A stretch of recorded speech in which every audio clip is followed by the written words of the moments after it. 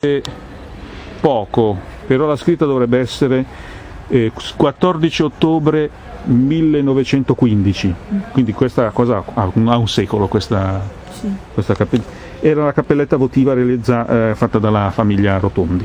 Mhm.